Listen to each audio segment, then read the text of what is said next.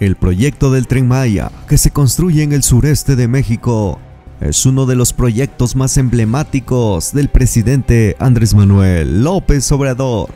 Será una ruta llena de cultura, tradición y arte.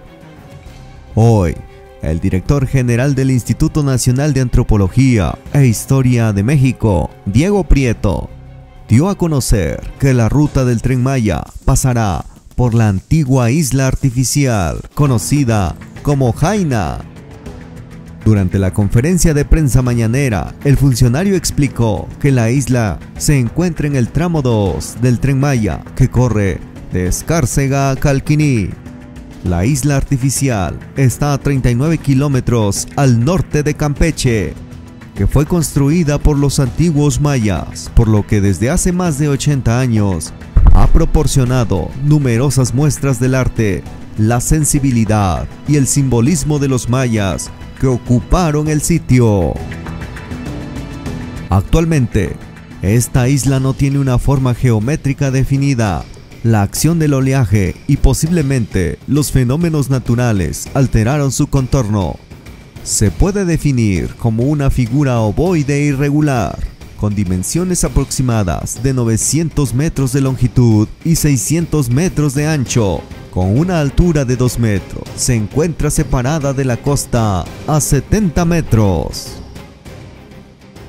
Independientemente de contar con espacios exprofeso para dar cobijo a las innumerables embarcaciones que atracaron en este lugar y las estructuras construidas para los diferentes oficios de la sociedad maya, uno de los elementos que le han dado fama internacional son sus figuras de cerámica, las cuales, de acuerdo a las costumbres funerarias de los antiguos mayas, eran depositadas en las tumbas y acompañadas a los fallecidos en su descanso eterno.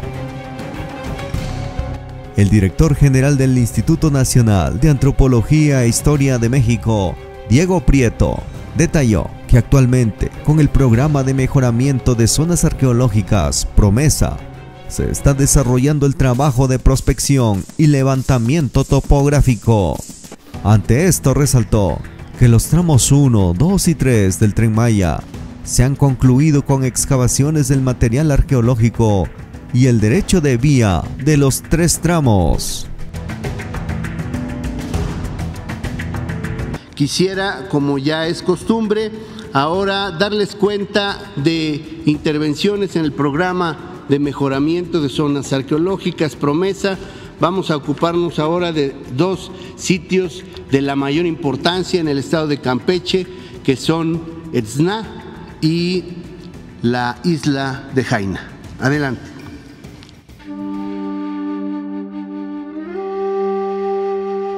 En el desarrollo del proyecto Tren Maya Simincac, hemos ido acumulando enormes avances en lo que se refiere a la investigación y el salvamento de materiales y evidencias arqueológicas, pero también en las tareas de conservación y mejoramiento de las zonas arqueológicas abiertas al público a lo largo de la ruta,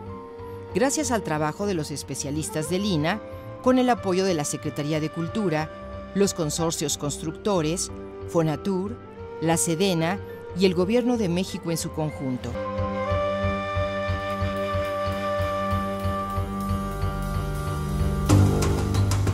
En esta ocasión, daremos cuenta de los avances del programa de mejoramiento de zonas arqueológicas, Promesa, que corresponden al tramo 2, que corre de Escárcega a Calquiní, específicamente en los sitios arqueológicos de Etzna y Jaina, isla artificial a 39 kilómetros al norte de Campeche, construida por los antiguos mayas, que desde hace más de 80 años ha proporcionado numerosas muestras del arte, la sensibilidad y el simbolismo de los mayas que ocuparon el sitio. En Jaina, nombre que en maya significa la casa en el agua, con el Promesa estamos desarrollando trabajos de prospección, levantamiento topográfico y mejoramiento de la infraestructura existente Gracias a las investigaciones derivadas de este proyecto, se han logrado identificar diversos elementos arquitectónicos, entre ellos el antiguo muelle prehispánico de la isla. Estamos integrando un amplio proyecto de investigación y mantenimiento de estructuras prehispánicas, y se ha ubicado el predio en el ejido de Chuncanán para la construcción del Centro de Atención a Visitantes, CADVI.